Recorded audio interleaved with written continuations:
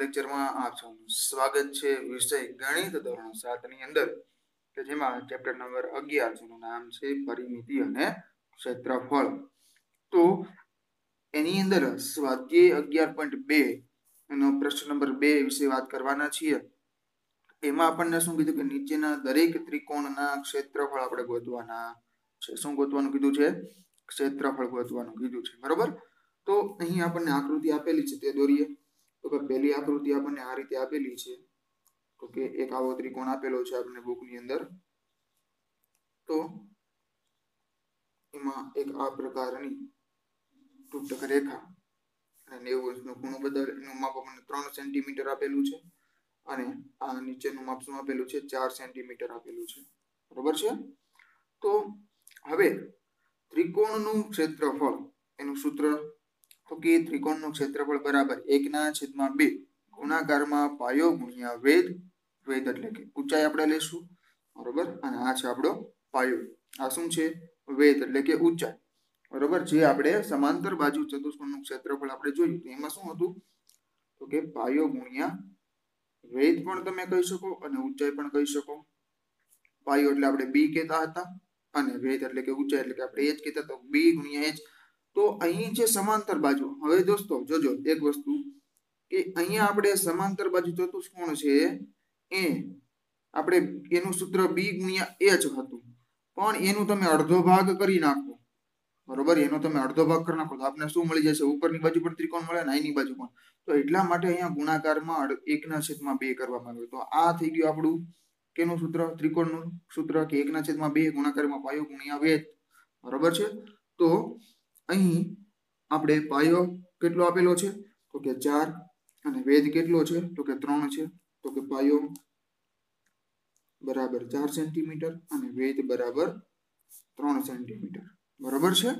તો તેથી ત્રિકોણનું ક્ષેત્રફળ ત્રિકોણનું ક્ષેત્રફળ એકના છેદમાં બે પાયો ગુણ્યા વેદ. અને આ જ સૂત્રને તમારે બીજી રીતે લખવું હોય તો કઈ રીતે લખી શકો? તો કે એકના છેદમાં બે ગુણાકારમાં પાયો એટલે કે બી વેદ એટલે કે એચ બરાબર? તમે આને આ સ્વરૂપે પણ લખી શકો છો. હવે એની કિંમત મૂકી દઈએ તો કે એકના છેદમાં બે ગુણાકારમાં પાયો આપણને કેટલો આપેલો છે? આ આપણો પાયો થશે કેટલો આપેલો છે? ચાર ગુણ્યા એચ એટલે કે આપણો વેદ ઊંચાઈ કેટલી છે? ત્રણ. બે દુ કેટલા થશે? તો કે ચારથી જે છેદ ઉડી ગયો, બે તેરી છ. છ સેન્ટીમીટર સ્ક્વેર આપેલા ત્રિકોણનું ક્ષેત્રફળ આપણને મળે છે. ત્યારબાદ છે ત્રિકોણ નંબર બે. બરોબર, અહીંયા એ, હવે બી. બી ત્રિકોણ આપણને આ રીતે આપેલું છે. બરોબર છે? એમાં અહીંયા આપણને નેવું અંશનો ખૂણો બતાવેલો છે. આ વેજનું માપ ત્રણ પોઈન્ટ બે સેન્ટીમીટર છે અને પાયાનું માપ છે પાંચ સેન્ટીમીટર. બરોબર, તો આપણે લખીશું. કે પાયાનું માપ આપણને કેટલું આપેલું છે? પાંચ સેન્ટીમીટર. અને વેધ કેટલો આપેલો છે?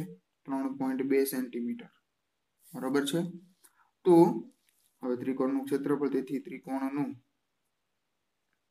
ક્ષેત્રફળ બરાબર એકના છેદમાં બે, ગુણાકારમાં પાયો, ગુણાકારમાં વેધ.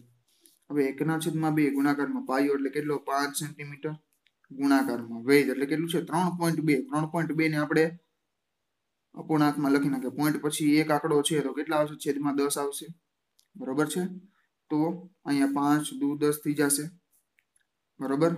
હવે બે અને સોળ, દુ, બત્રીસ થાય. હજી?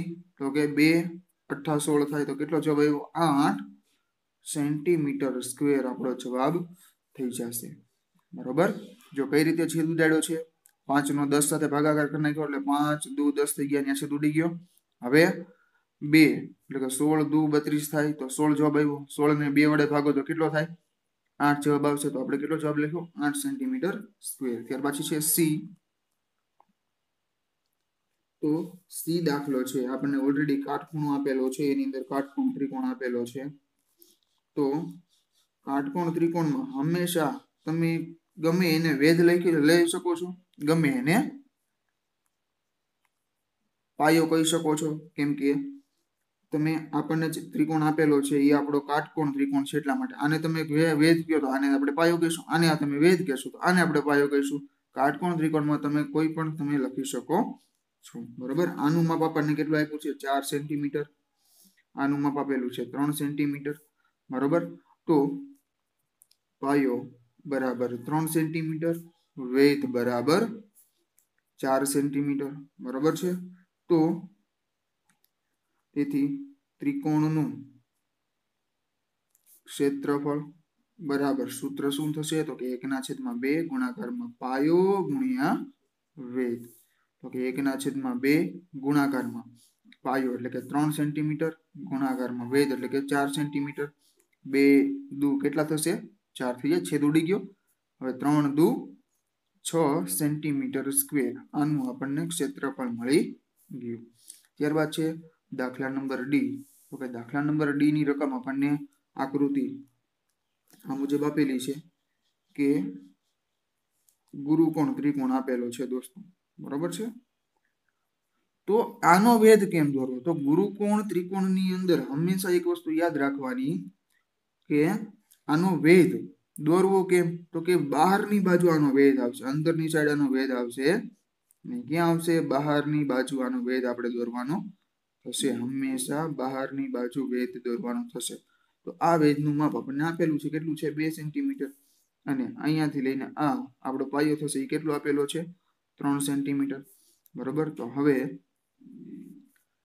પાયો બરાબર ત્રણ સેન્ટીમીટર અને વેધ બરાબર બે સેન્ટીમીટર.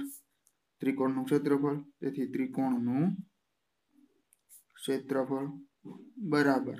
એકના છેદમાં બે ગુણાકારમાં પાયો ગુણ્યા વેદ તો કે એકના છેદમાં બે ગુણાકારમાં પાયો આપણને ત્રણ આપેલો છે અને વેદ આપણને બે બે કેન્સલ થઈ ગયા તો આપણું ક્ષેત્રફળ કેટલું થયું? ત્રણ સેન્ટીમીટર સ્ક્વેર આપણો ફાઇનલ આન્સર આવી જશે. કેટલો આવ્યો? ત્રણ સેન્ટીમીટર સ્ક્વેર બરોબર? તો આ હતું ત્રિકોણનું ક્ષેત્રફળ. તો ફરીથી તમને કહું છું કે ત્રિકોણનું ક્ષેત્રફળ આપણે સૂત્ર કઈ જગ્યાએથી કેમ આવે છે? તો આપણે સમાંતર બાજુ ચતુષ્કોણનું આપણે સૂત્ર શીખી ગયા. બરોબર ને? આપણું છે સમાંતર બાજુ ચતુષ્કોણ. એનું સૂત્ર શું હતું? તો કે સમાંતર બાજુ ચતુષ્કોણનું ક્ષેત્રફળ શું હતું?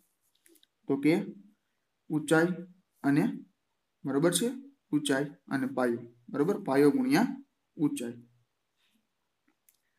ઊંચાઈ એટલે અહીંયા આપણે વેધ જ લેવાનો છે. બરોબર? શું કામ કેમ કે અહીંયા પાયો જ્યારે બનાવતો ત્યારે કાટખૂણો તો આપણે આ પ્રશ્ન નંબર એક ની અંદર આપણે જોઈ ગયા.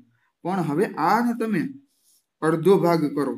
બરોબર છે? કોઈ પણ એક બાજુથી. તમે આ રીતે પણ અડધો કરી શકો, આમ પણ અડધો. આપણે આ. તો અહીંયા તમે જોશો તો આપણને આ કેવો આકાર મળ્યો? તો કે ત્રિકોણ આકાર મળ્યો. આ આકાર પણ છે ત્રિકોણ આકાર મળે છે. તો સમાંતર બાજુનો પાયો ગુણ્યા વેદ છે એટલે કે ઊંચાઈ છે, બરોબર છે?